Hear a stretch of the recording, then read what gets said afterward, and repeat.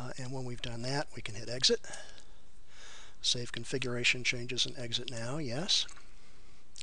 Uh, and now it should reboot and um, um, if the ISO image is still in there, we'll, uh, uh, we'll get back to that first installation screen. I'm going to select English, of course, and then what we need to do is rescue a broken system. And so I'm going to select that, uh, and it's going to uh, spin by a bunch of stuff and install some some stuff and, and um, uh, basically get us a repair screen going. So I'm going to press pause while it goes through that process. You'll need to answer some of the same questions that you answered during the initial install. You'll need to select a language, um, a location, uh, probably a keyboard. Um, so this is just the same as the first time you installed it. Uh, I'm going through this very quickly now. And you'll notice up there in the top, uh, uh top left of the screen, uh, it's in rescue mode. So let me pause again here. It's going to ask for the host name again. Let's see, server 804.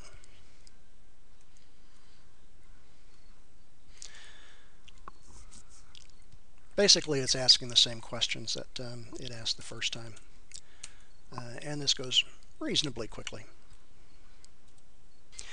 Now eventually you're going to come to this screen, enter rescue mode, and you're going to want to select the default um, uh, default choice here, which is uh, uh, root file system selecting um, uh, slash dev slash sda1.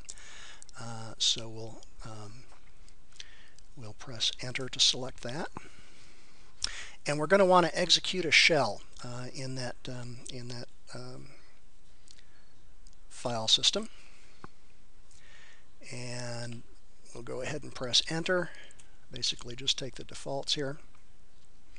And now if you look down at the very bottom here, you'll see that I've got this little pound sign right down in there. Uh, and that's where we're going to be entering some commands. Uh, so what I'm going to do is I'm going to enter um, aptitude, install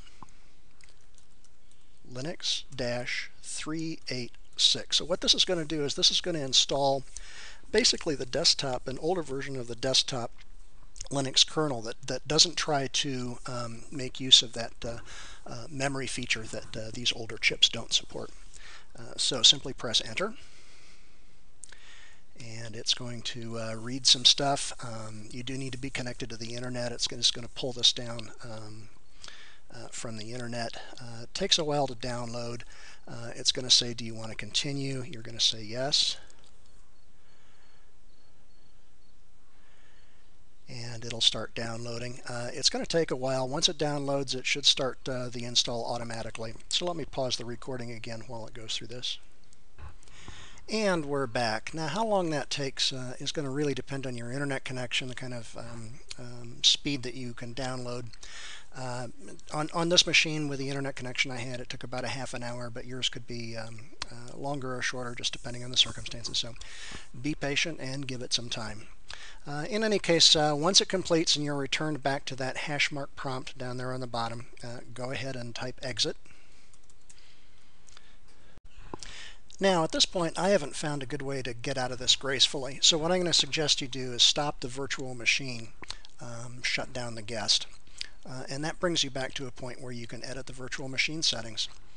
Uh, you want to um, uh, set the um, uh, CD-ROM back to uh, using the physical drive so it doesn't boot that image and click OK and then start the virtual machine. Now I'm getting this message because I don't actually have a, um, um, a CD, a physical CD-ROM drive on this computer. Um, you won't get this message if you have a physical CD-ROM drive, so uh, I'm going to click yes. Um, and it's going to tell me that it's going to start disconnected. Um, and again, that's just because I don't have a CD-ROM drive on this computer. But now let's see what happens when we do the reboot uh, for a server.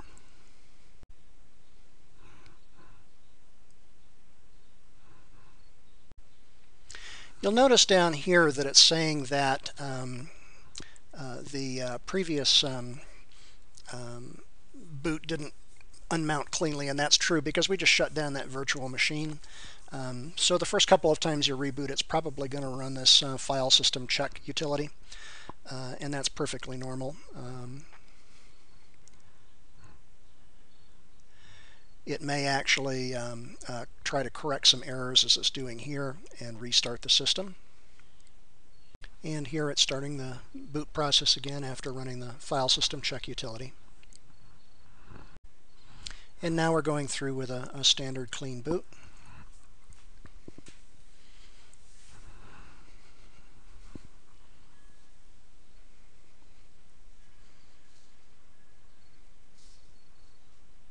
And it's asking for the login, so we can log in with our username and password. And Linux server is now up and running. Uh, so that concludes this uh, portion of the demonstration. Um, there will be some other videos that will run through some configuration utilities, but you now have a, um, a working installation of um, uh, Ubuntu 8.04 server uh, in a virtual machine, and uh, we've installed it with uh, the Linux, Apache, MySQL, and PHP options, and the Secure Shell, um, Uh, secure Shell utility. So thanks for watching.